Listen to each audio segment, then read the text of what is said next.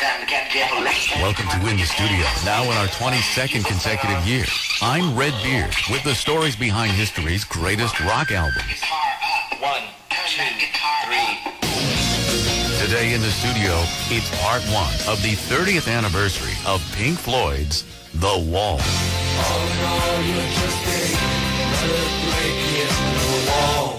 I finally got so angry that I spat at this child. Well, child, he was 14 or 15, I suppose. And when I came off stage afterwards, I thought, what have I been reduced to here? What, you know, what has happened to the relationship between the band and the audience? And, and, and uh, so the wall was something that I experienced very powerfully through most of that tour, but specifically on that day.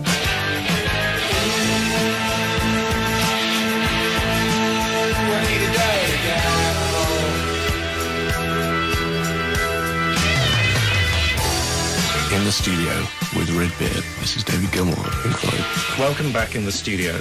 I'm Nick Mason of Pink Floyd with Redbeard. This is Roger Waters in the studio for The Wall. from Mr. Floyd for you accepting charges from the United States. 30 years ago, the curtain was about to fall on the 70s decade. Arguably, the 70s began in a musical sense with the 1972 release of Pink Floyd's Dark Side of the Moon album. And the London quartet of Rick Wright on keyboards, singer-guitarist David Gilmour, drummer Nick Mason, and singer-bass player Roger Waters was about to release a double album rock opera that would serve as a musical bookend to that decade. Punk rockers on both sides of the Atlantic had, by November 1979, made their point indelibly that, for the most part, rock and roll had grown bloated or simply gone flat, like soda pop left open all night, leaving fans feeling disconnected from the musicians. Roger Waters of Pink Floyd was feeling it too, from the other side of the stage lights. By the time the recording sessions began for The Wall in April 1979, Waters had become Pink Floyd's dominant creative force. Although David Gilmour's co-writing and guitar sound were crucial elements, it was Waters who controlled the musical concepts. Just a few years later, Roger Waters' insistence on creative control of Pink Floyd would alienate him from Gilmour and Mason and eventually lead to his departure. But in 1979, it was Roger Waters who set the Pink Floyd agenda. I bought a tape. In fact, I bought two tapes to the first listening session, which um, one was um, The Wall and the other was The Pros and Cons of Hitchhiking. I'd had a rather fertile time, so I was terribly efficient, and I gave folders to the other guys in the band, and we all sat down and listened to these two demo tapes, and I said, I'm going to do one of these as a solo album, and we'll do one as a band album because I was beginning to feel the need to do something on my own. And I, I, I gave them the choice, and they quite cleverly chose the wall. It was Roger Waters' vision that built the wall. His concept, his story, his personal passion play. Waters wrote most of the music and all of the lyrics. And Roger Waters recalls how the album and later the concert show of The Wall began. So much happened in the show that it would take an enormous amount of time to explain it all. I mean, the audience come in and there's about 40% of the wall across the arena. So it's a jagged kind of line, a bit like uh, the inside of the album sleeve. An announcer came on and made a speech in a dinner jacket. He was actually an actor. But I, I wanted to make a point during the show, so I had this guy come on and say, please don't block the freeways and don't do this and don't do that and don't do and, and all those kind of things that people say in shows. But it, it, that was actually a device for something that happened later on. And then um, the band appeared, but in all the black stuff, and it was actually the surrogate band on a on a stage out front, and they were all wearing masks, so they looked like us, but they weren't us. They were four other guys, and they played uh, the beginning of In the Flesh. A drape went up behind the wall, and there we were, and, and then a plane came in from the back, you know, a, a model kind of Stuka about 15, 20 feet wingspan, and went over a bit of the wall, and a kind of explosion happens, and then the baby cries, and then we go into the thin ice, and then the band are revealed on the back while this band at the front, so the audience realizes that the people that they applauded starting they not actually Pink Floyd, they're somebody else. And, oh, all right, and it went on like that for, until the end of the first half.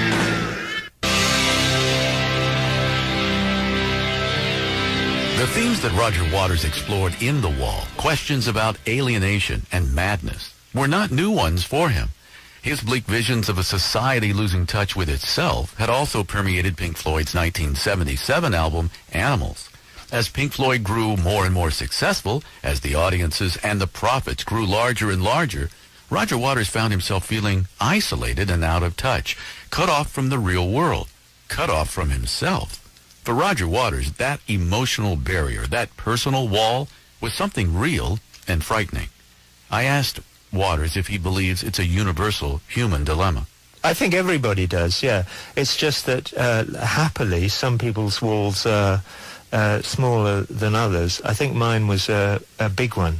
I, actually, I think an awful lot of people's walls are enormous and insurmountable, and they never ever get past them. I don't know what they do. They become, um, you know, armed robbers or politicians, or um, th- they may stay completely in the depths and, uh, you know, in what we would, uh, what would appear to us to be the kind of dregs of society and hang around on street corners mugging people, or they may equally uh, rise to positions of great power. Uh, they're the dangerous ones, the ones that are cut off but are nevertheless in positions of uh, some political power.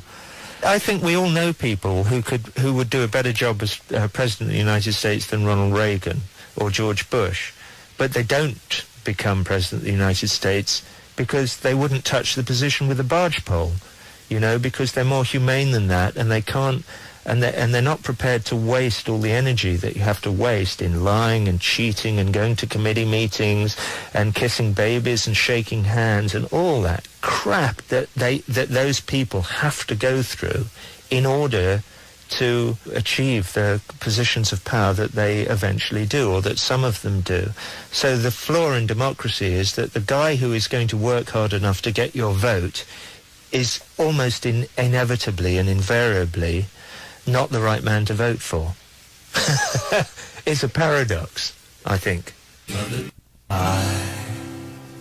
That's the song Mother from Pink Floyd's The Wall, with Roger Waters singing the verses and David Gilmour on the choruses. Up next, we'll find out what first inspired Roger Waters to write The Wall, and we'll hear about the school children who sang on Pink Floyd's first number one single. For this and your other favorite interviews, visit inthestudio.net. I'm Redbeard. You're in the studio for The Wall, 30th anniversary, part one. In the studio with Redbeard, this is David Gilmour of Pink Floyd. Welcome back in the studio. I'm Nick Mason of Pink Floyd with Redbeard. This is Roger Waters in the studio for The Wall. Thank you, guys. This is part one of The Wall's 30th anniversary. I asked Roger Waters to share his inspiration for The Wall. The idea derived from the, the theatrical idea of, of constructing a, a wall between a rock and roll band and the audience that it was purporting to communicate with. And that idea arose specifically out of the Animals tour. Because we were playing in stadiums almost exclusively uh, for the first time, and uh, it became clear to me after doing one or two uh, from the conversation backstage and from the response in front of the stage and for the things that happened afterwards and from the injuries and the this and the that and the general vibe I got that this was no longer musicians writing and uh, performing songs and uh, well it was but that was no longer important. What had become important was the gross. It really upset me over a period we were i don't know playing stadiums for six or seven weeks and it really started to get to me. And the last one we did was in montreal in the olympic stadium 90,000 people stretching forever into the distance, chain link fencing in front of the stage, kids on a, you know, ap- apparently on some kind of um, Pavlovian dog trip of uh, screaming their heads off from the moment that we appeared on stage till the moment we left. Nobody listening, well, not nobody, I'm sure there were a lot of people in the audience who were trying to listen. Very difficult for an audience to pay attention to what's going on. And what was important, and I've been to lots of stadium shows since, and with the exception, I think, of Live Aid, they're all the same. What's important, uh, you know, is the demagogy, is the worship of the very rich people Uh, I mean, rich in, in terms of having earned a lot of money, but also maybe rich in terms of the way the audience perceives how it must be to have written such and such a song or to be that popular or whatever. It's the worship of, of, um, of idols from afar, and I find it distressing. Guitarist vocalist David Gilmour of Pink Floyd. The stadium tours started in 1973 when Dark Side of the Moon was out. Uh, we were doing stadiums um, immediately as soon as uh, sort of money got up into the into the top ten, um, and it was a major change for us because uh, um, the audiences just made so much more noise. I mean, we weren't uh, we weren't ever exclusively doing stadiums. We would be doing some cities. We would be doing the the arenas and multiple nights in arenas in um, you know in, in the big cities as well as stadiums. It would be sort of balanced out between the two. But I don't re- recall that the Animals tour was any different, uh, really, in, in the way it was done to the uh, Dark Side of the Moon or the Wish You Were Here tours. But it was a bit longer. It was it, we we toured fairly consistently for six months with the Animals tour, and uh, that was a, a big one for us.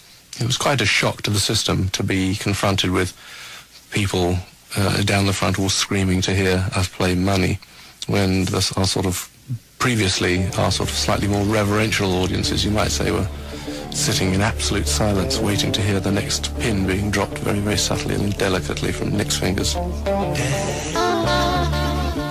Roger Waters. So uh, at the end of this Montreal show, I found myself, there was some kid trying to climb up the chain link fencing.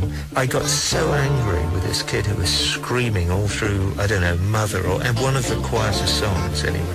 I finally got so angry that I spat at this child. Well, child, he was 14 or 15, I suppose. And when I came off stage afterwards, I thought, what have I been reduced to here?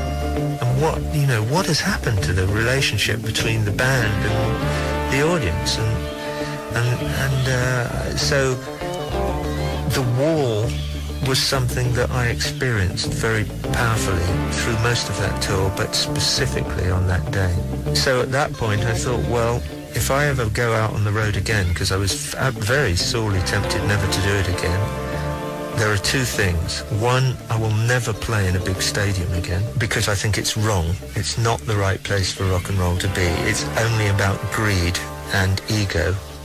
And two, I need to express these feelings about how I feel about the breakdown of whatever between me and the audience. And so that was really the start of the wall.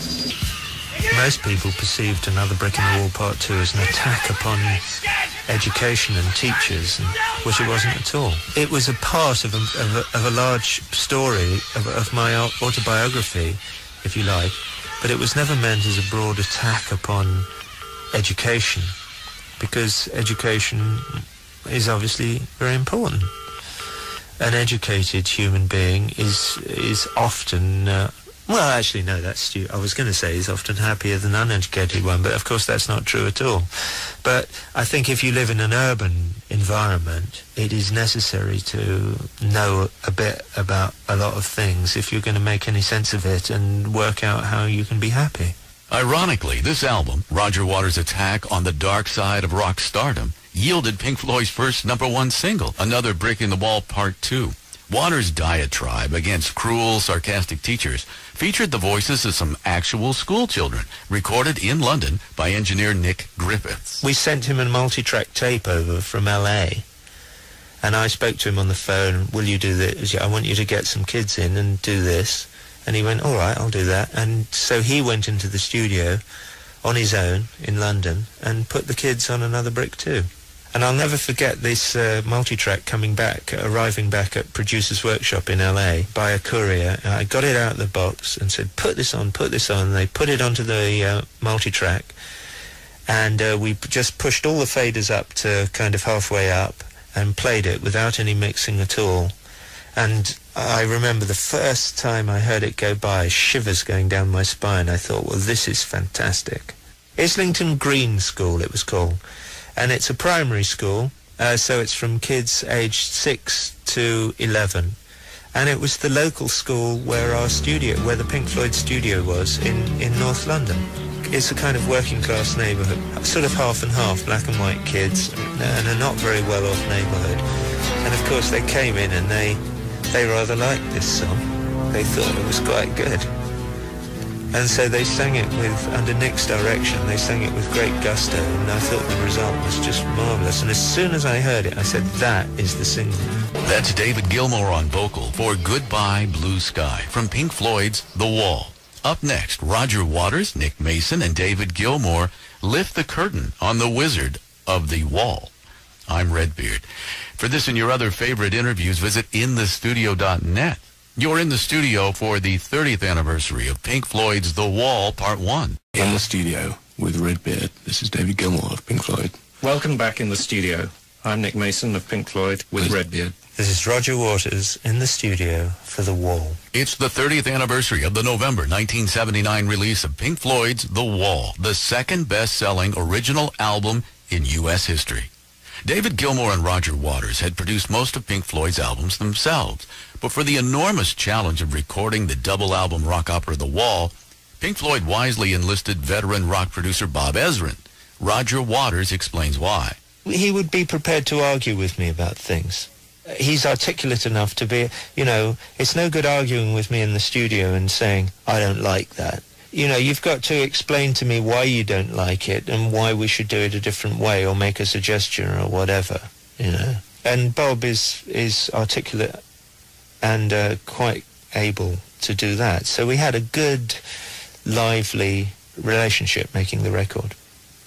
He was a very good uh, musical and intellectual sounding board for me because he's a quite he's very bright and he's quite tough as well and so we could sit and talk about what it was about ad nauseum which was absolutely invaluable because I don't think anybody else in the band had any idea of what it was about and I don't think they were very interested in fact I know they weren't interested and so that was one thing. He also brought uh, a discipline to the production of the record.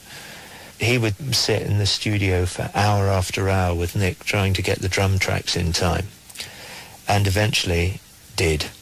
And so he provided the record with a pocket, you know, a rhythmic kind of pocket within which the songs could sit and be listenable to. Pink Floyd drummer Nick Mason, followed by David Gilmour.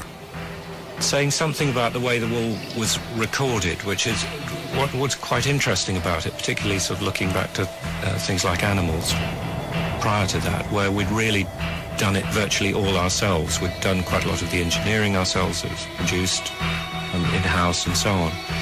Um, one of the interesting things looking back on the wall was that the, the jump we managed to make that time was to go out and find other people to bring in and help uh, thinking particularly of Bob Ezrin as producer and James Guthrie as engineer. We, we really tried to take a sort of new look at the way we worked. I mean, I, th- I think it, it was a good choice, uh, I mean, a good thing to do at the time. But it, it's, um, it was just sort of thinking back to some of that. It was very different to the way we'd worked previously. I certainly think that we wanted to make a move forward and we were feeling the need to break out of the, the smallness of our circle, if you like, a little bit, get a, get some other opinions and, and minds on it, if you like. And um, it was a, it was a significant, a good move for us, I think, to do that. According to Roger Waters, that's a candid recording of an actual telephone operator there on Young Lust from Pink Floyd's The Wall. That's the best bit in terms of the theatre of the record. I'll tell you what happened. I wanted to get across somehow that the guy's calling his wife and she's got a lover. So I thought, well, how about if I ring up the operator and ask an operator to telephone, to call this number collect in London and tell her that I'm calling my wife and have a pre-arranged, I pre-arranged that somebody in London would pick the phone up and say hello and then when she heard collect call for Mrs. Floyd from Mr. Floyd, will you accept the charges? Just hang up.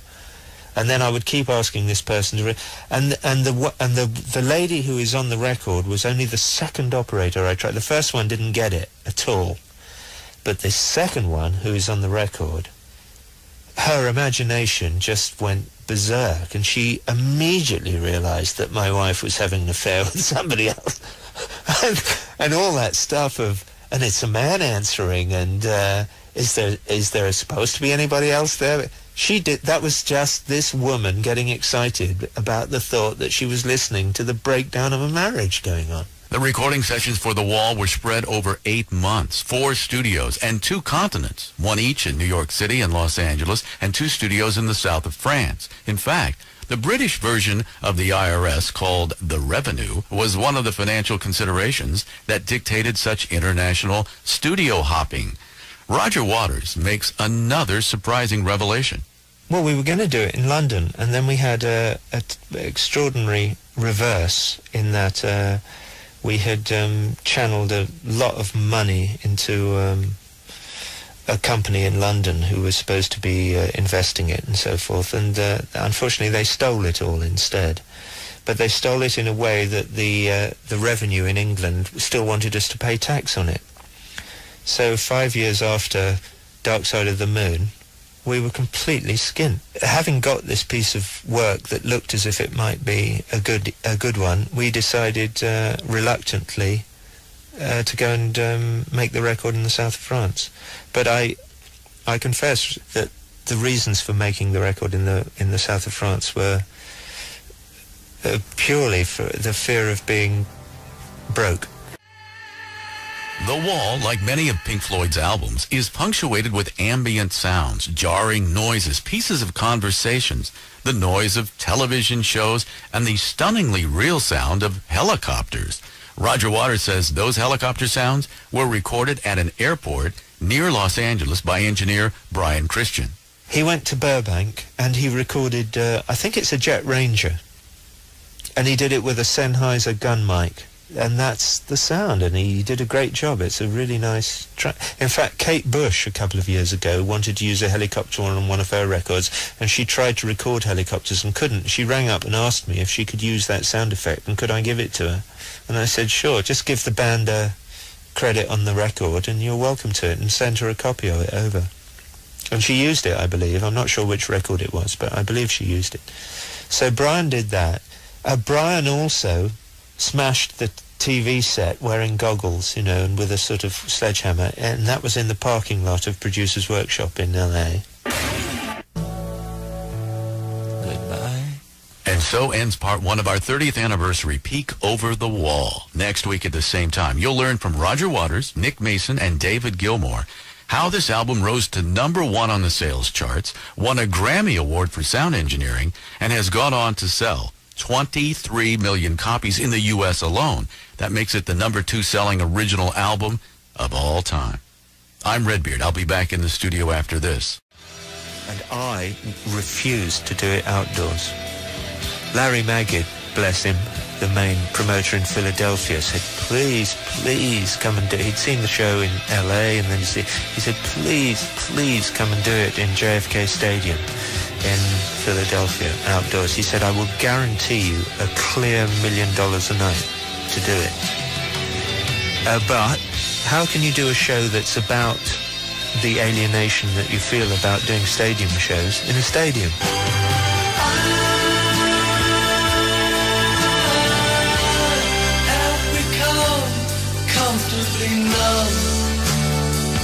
This is Roger Waters in the studio for The Wall. In the studio with Redbeard, this is David Gilmour of Pink Floyd. Welcome back in the studio. I'm Nick Mason of Pink Floyd with red Redbeard. The members of Pink Floyd were never very comfortable with stardom. They were, for the most part, a band without a face. Even as they were selling millions of records and selling out huge stadiums, many of their fans would have been hard-pressed to recognize a single member on the street. Some knew that David Gilmour was the guitarist, that Roger Waters played bass, and that the two of them wrote most of the songs. But most fans couldn't tell one member of Pink Floyd from the other. But as much as the members of Pink Floyd resisted it, a certain amount of celebrity was unavoidable. There was no way to play concerts in front of 50,000 people and hope to remain truly anonymous. There was no way to avoid being mobbed, being followed, being worshipped. It was that last part, the idolatry of it all, that bothered Roger Waters the most. Waters saw a dark side to the spotlight, and it frightened him.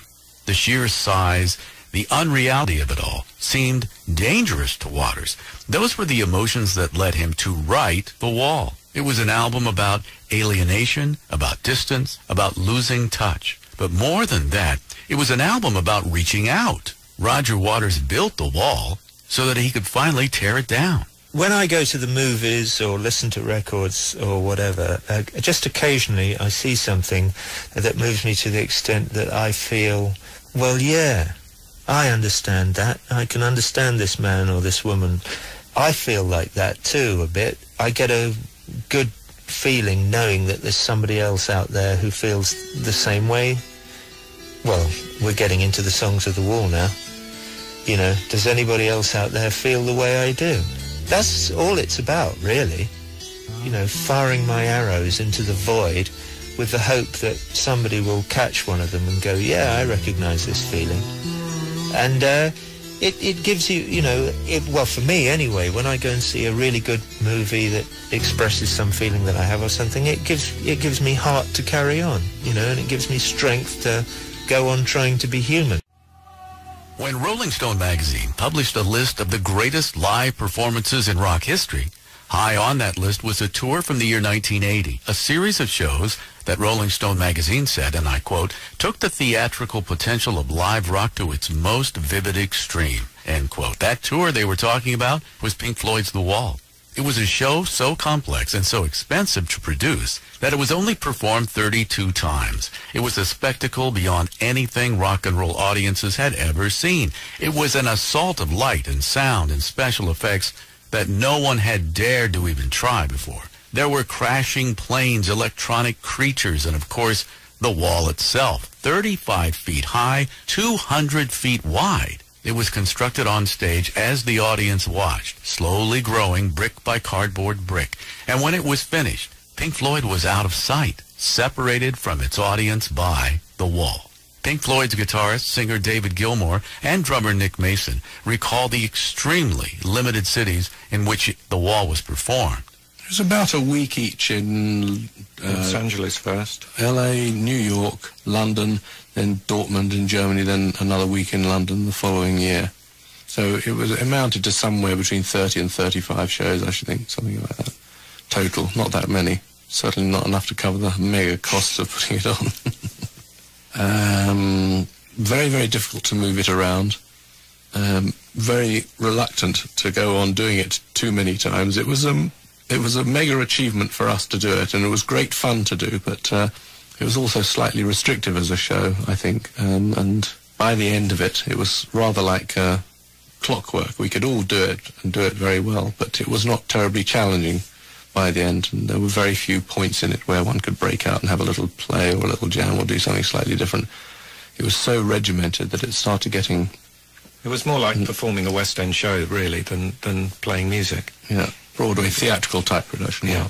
Roger Waters confirms that the Wall tour just didn't add up. It really was unbelievably expensive to put on. The reason that we did so few shows was because indoors it was really too expensive to countenance. We lost about 600 grand, I think, doing the shows. And so you couldn't really make a case for going on doing it. Uh, because I think what you know what the world was getting out of it was not worth the expense of, of putting it on, and I refused to do it outdoors. Larry Magid, bless him, the main promoter in Philadelphia, said, "Please, please come and do." it. He'd seen the show in L.A. and then he said, "He said, please, please come and do it in JFK Stadium in Philadelphia outdoors." He said, "I will guarantee you a clear million dollars a night to do it." Uh, but how can you do a show that's about the alienation that you feel about doing stadium shows in a stadium? Out that Bob Ezrin had been brought into the recording sessions for The Wall as an outside producer. We were, we were all directing. We were all directing, and, and but Bob was another intelligent, discerning person who certainly had some very good input onto the way, and had a lot of strength as well to uh, say, you know, this piece just isn't good enough. You know, this song isn't strong enough. And let's think again, start again, you know, which happened many, many times, you know. And you get Roger going off home in a huff because we'd said we didn't like something. And he'd shoot off home and he'd, like two days later, he'd come back in with something much better. And he'd sort of rage and anger at having something turned down. He'd say, well, I'll show you, motherfucker. He'd come back in with something far better. Nobody home was like that. Nobody went off angry about something and the next day time he came in with nobody home, which is fantastic. That's Nobody Home with vocal by Roger Waters from The Wall. Waters and David Gilmour return in the studio next as the cinematic properties of The Wall inspire a major motion picture. I'm Redbeard. Visit inthestudio.net for this and your other favorite interviews. You're in the studio for the 30th anniversary of Pink Floyd's The Wall, Part 2. In the studio with Redbeard. This is David Gilmour of Pink Floyd. Welcome back in the studio. I'm Nick Mason of Pink Floyd with Redbeard. This is Roger Waters in the studio for The Wall. Thank you, gentlemen. This is part two of our 30th anniversary of Pink Floyd's The Wall. From the beginning, Roger Waters envisioned The Wall concept cinematically, more than just a rock album. And in 1982, a film version was released in theaters, directed by noted filmmaker Alan Parker, who had already directed Midnight Express and Fame, and would go on to make Angel Heart, Mississippi Burning, and Evita. Roger Waters wrote the screenplay for The Wall movie. I always thought that it might make a movie. Alan Parker expressed a great interest in it, and we talked and talked, and I started writing odd bits of screenplay, and I don't know, it just slowly happened. To start with, it was going to be a kind of combination of uh, show film, you know, of rock and roll concert film with illustrations of what the concert was about. And it stopped being that quite quickly and turned into what it eventually became.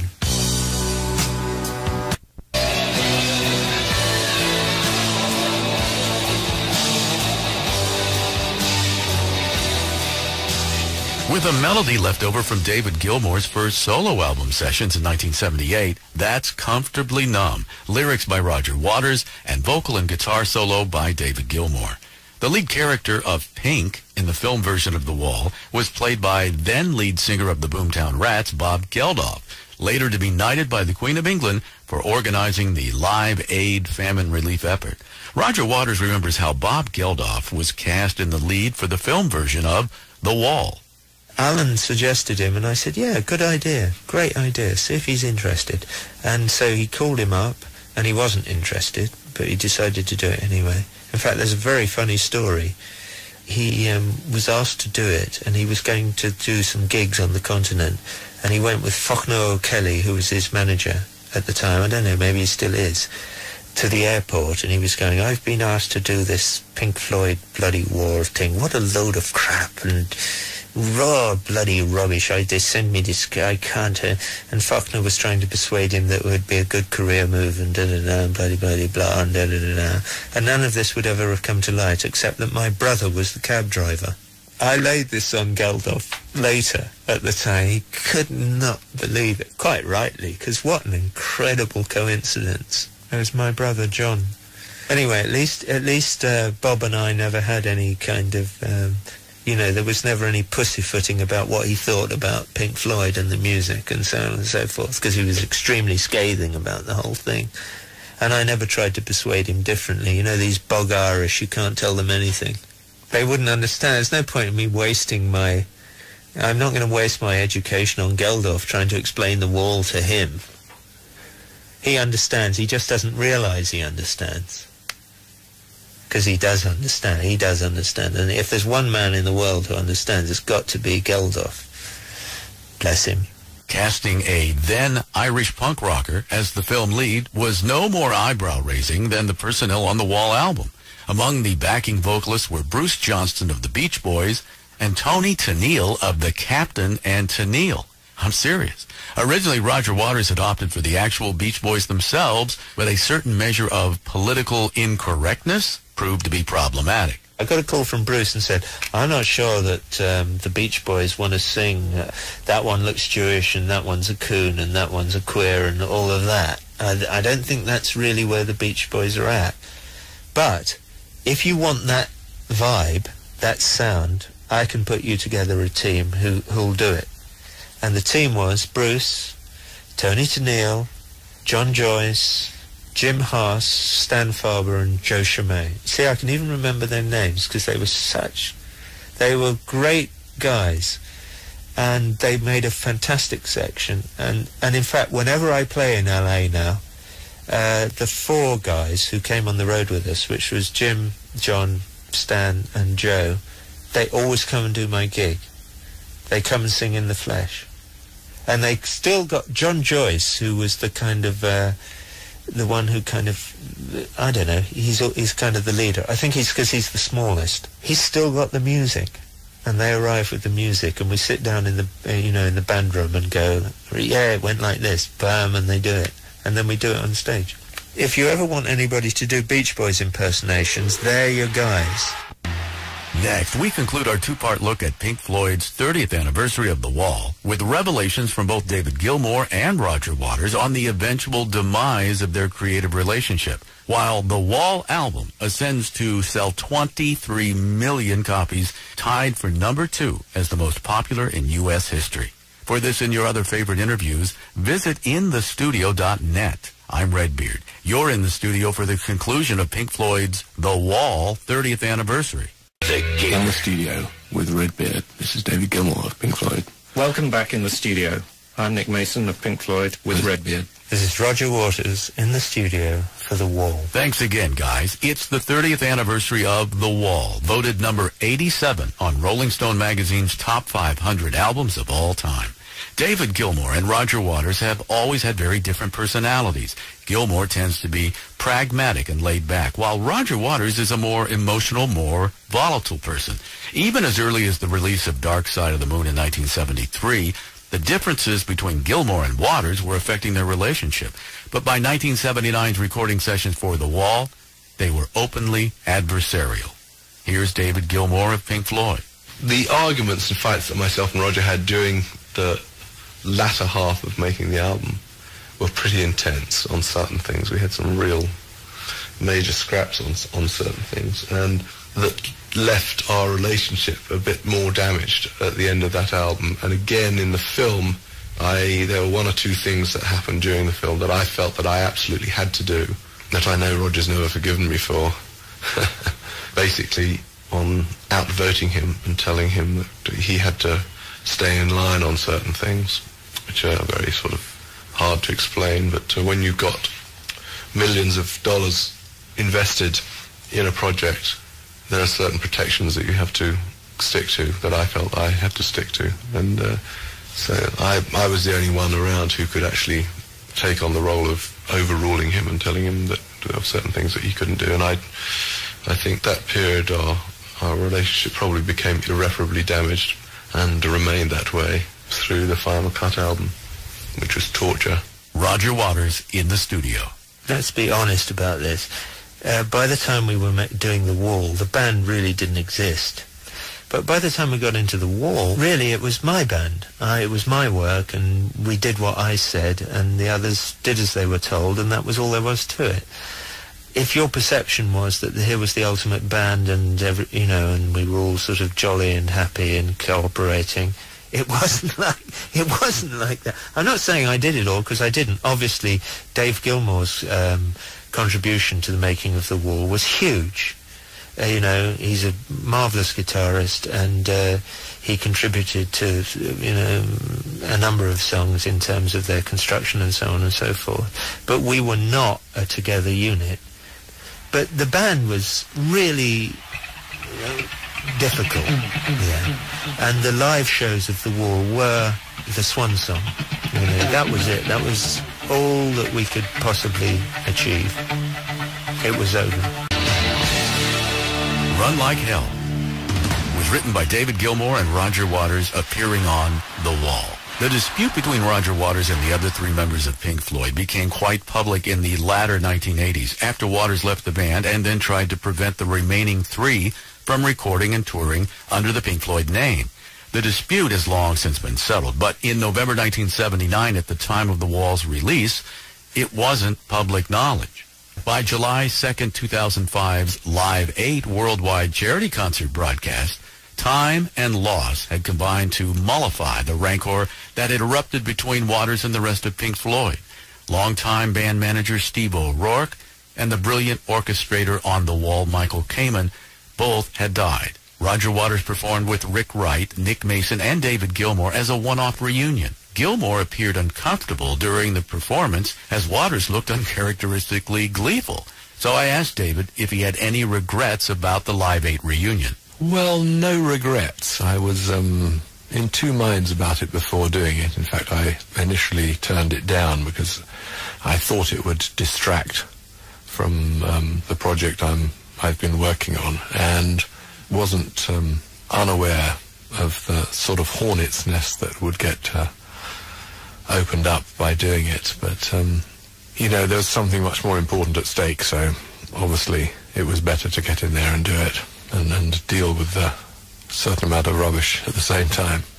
You know, the important thing is uh, was taking part in that event in order to try and persuade those uh, leaders of those eight countries that they should um, put their hands in their pockets and dig out some cash and uh, free a lot of countries from the burdens of the of servicing the debts that they had. Um, and all the other sort of rubbish pales into insignificance alongside of that. And um, so that other insignificant rubbish, it's amongst that, it's very good personally for me and Roger to be able to put a bit of the uh, the, the, bad vibes that have gone on behind us um, and, and, get up there and, and, and, play a gig. So that that was fun, and um, I'm very pleased in the end that I did it. Together with that, I mean, um, it, it, it sort of served as closure on that period of my life, and I'm very, very sort of happy and satisfied musically, artistically with my whole career within Pink Floyd. In, in, in the early days with Roger and in the latter years too, you know, I, I've had a great time, a great opportunity to, to do pretty much whatever I wanted in all that thing. But um, I do feel now it's time for something different. I have a different partnership in in life and love as well as in music with with Polly, who's um, a great writer I feel very musically, artistically satisfied by, by where I am right now. Roger Waters stunned the rock world back in summer 1989 when he told me, right here in the studio, that the winds of change swirling through communist Eastern Europe could blow new symbolism into the wall. And the second half was really about breaking through the wall. And but there was a hotel room built into it that flapped down. Oh, it went on and on and on. It was, I have to say, it was absolutely wonderful. And I may say also that I'm toying with the idea of doing it again because one of the things that I got out of my acrimonious departure from my ex-colleagues was all the rights to all of that. It was the only thing I ever really insisted on was that I got the wall. So I might even do it again. I thought what would be a good idea would be uh, I, am I'm, I'm told that they're, they're thinking seriously about tearing down the wall in West Berlin uh, as a sort of uh, theatrical gesture when they do it. I might try and persuade, um, who is it, Helmut Kohl, who's in charge over there now, to, you know, to build this thing at the Brandenburg Gate or at, at Checkpoint Charlie or something. We'll build it there. And that's the only place that I would ever do it outdoors and we'll have a kind of a, a, symbolic tearing down of the wall at the end of a, of a, of a production of, of the wall, because I think it would be apposite at that point if they decide to destroy that thing. Re-recorded to commemorate his performance of The Wall at the remains of the Berlin Wall, July 21st, 1990, that's Roger Waters with Another Brick 1990. Waters also revealed that he has the 1980 and 1981 concerts on film. And yes, he may make them available for those of us who weren't lucky enough to see the original show. It was filmed in, in 1980 and 1981 in London. I've got that. I've got all that. And I am putting it together. I'm, I just, I don't want to, you know, sell it really. Not because I want to. Keep, uh, not because I don't want anybody to see it. I'm not quite sure why I don't want to, but it is there, and at some point it will be available for anybody who didn't.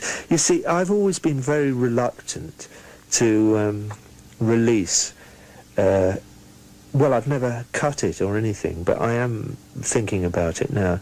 But I've always been reluctant because it was a very strong theatrical experience for the people who were there. On, but on video, it will really be a kind of historical document. You know, it can't possibly be the event because, you know, you needed to be there with another 12,000 people with the quadraphonic sound and with the aeroplane going. But nevertheless, for people like you who never saw it, it would be, and who are you know, fans of the music and interested, it would be a very interesting document. I wouldn't call it a performance, but I would say a document, a record of the event. So you can at least see what happened, but you will never be able to have been there, if you see what I mean. The end of the wall. We'll be back in the studio after this. This is Redbeard in the studio thanking Nick Mason, David Gilmour, and Roger Waters. This edition of In the Studio is dedicated to the memories of Rick Wright of Pink Floyd, longtime manager Steve O'Rourke, and the Wall orchestrator Michael Kamen. They've all passed away. May they rest in peace. Visit inthestudio.net for this and your other favorite interviews. In the Studio was written this edition by yours truly Redbeard and by Joe Rhodes. Transcription by Jane Carpenter Brunat. Theme song by Andy Timmons. In the Studio is now in its 22nd consecutive year, produced by Barbarossa Limited, copyright 2009, all rights reserved. Be a part of the In the Studio network at inthestudio.net. In the Studio is distributed by Radio K and G.